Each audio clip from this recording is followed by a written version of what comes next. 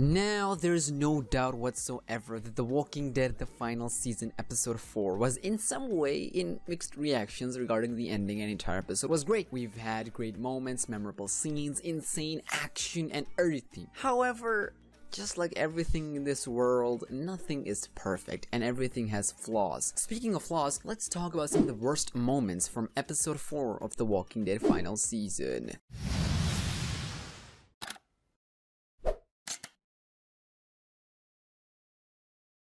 What is up SmackNPie? Smack Empire here, back again with another Walking Dead video. If you're new here and want to see more gaming theories, news, and leaks just like this one, start now by hitting the subscribe button and that bell so you don't miss anything. Alright, let's get started with the list. Now remember, when we say worst, we don't mean that they're horrible in sense of they weren't made properly. When we say worst, the term, what we mean is that in terms of plot-wise, story-wise. So now that out of the way, let's get started. Number 5 5. Waste, waste, waste. There is absolutely nothing worse than waste, whether it be physical, logical, spiritual, anything. And in video games case, a wasted character, specifically when they had so much potential with community support. There is nothing worse than that. We've been crying out here ever since episode 1 that please, please Telltale Writers, for freak's sake, you have some of the best characters for this season. Don't waste them. Comes episode 2, no development. Comes episode 3, they're buried. They're literally buried. And comes episode 4, they are done. They're nowhere to be seen. And yes, if you didn't catch it, we're talking about Aasim and Omar. Heck, even Ruby. Freaking Ruby had more screen time and development than both of these characters combined throughout the season. What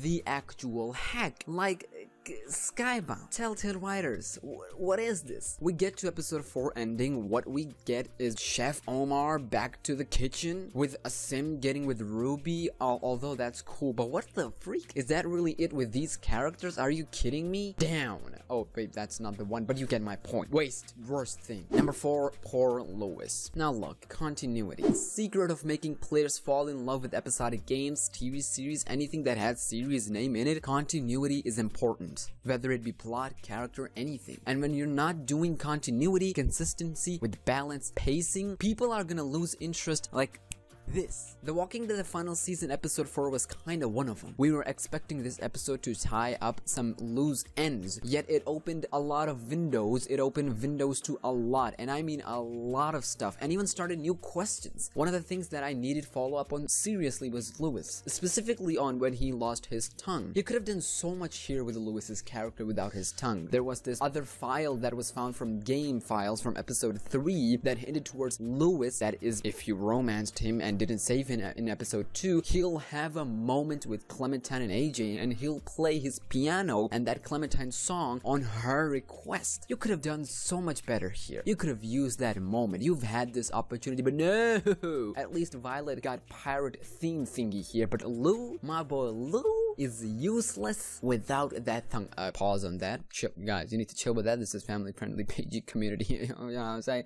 But you get my point. Number three, James, make up your mind mind, please. Now look, I get it. They were trying to show that James got a point with this whole philosophy, still don't know why they used that word, and that he's just confused as to how and what. But the way it was executed was so poor. We was expecting a fight, a physical fight between Clementine and AJ, or even AJ versus James. Heck, with AJ killing James because he is weak. They had such a great potential for this whole James thing that they were pushing from episode 2. Instead, what we got, what we got, haha, played that scene. Follow us after that. I break your leg.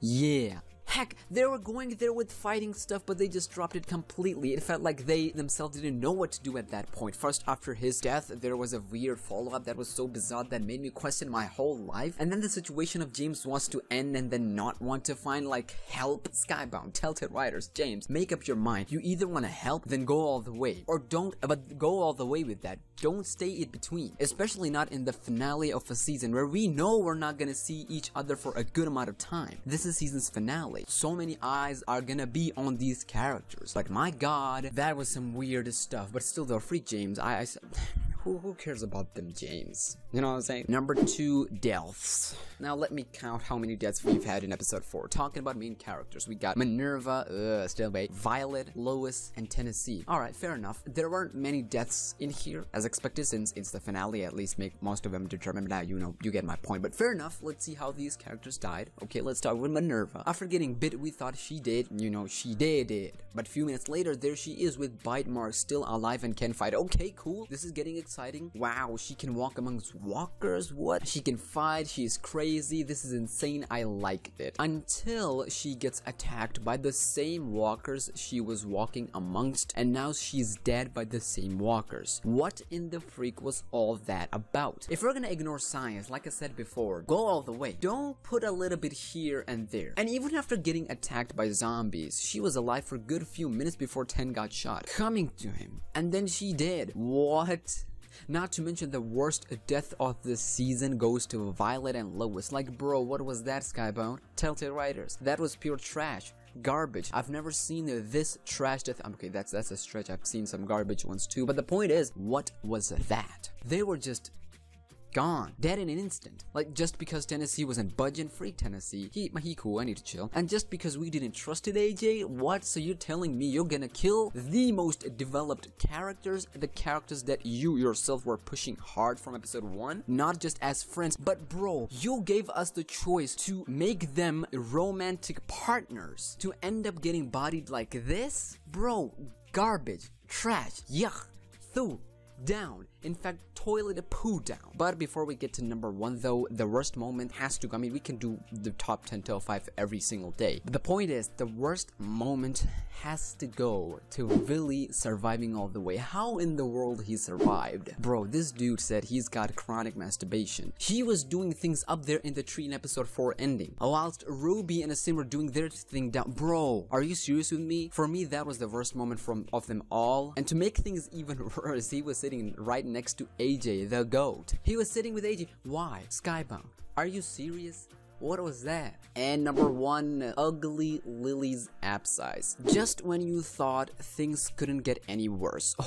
Oh boy, you're in here for a big treat. Just a quick reminder, characters from previous seasons, especially when they're more than 5 years old, season's character, they mean a lot, and I mean a lot to them fans, regardless they're hero or villain. Heck, even low-level characters, if they get a cameo return, fans love it because they remember those those times, years ago, recognizing past memories. And when you have a villain from first season, returning after 6 years, 6 freaking years, you would expect an epic showdown, an epic end to their rivalry. But what we got here, oh yeah, she escaped easily and smoothly while V embarrassedly missed all 3 of our shots. What was that, Skybound? So you're telling me the most hated villain debatable, a 6 to 7 years old character getting returned, she's got an amazing role in episode 2, meh in episode 3, and then ending to this rivalry was just this, missing three shots, it's not even a redemption, it's not even a proper moment. Just go and hear the dialogues, the exchange. What was all that, bro? It is honestly sad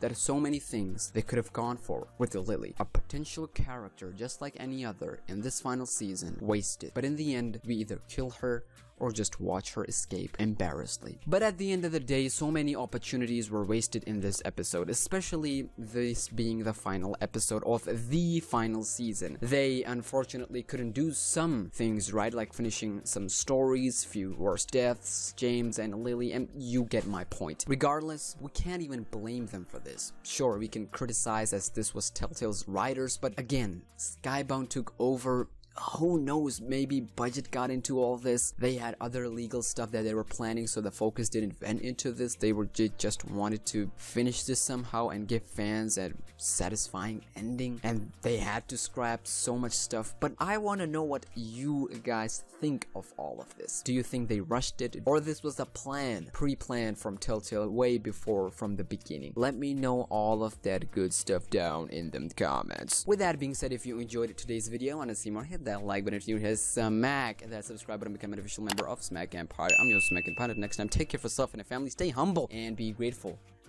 And peace.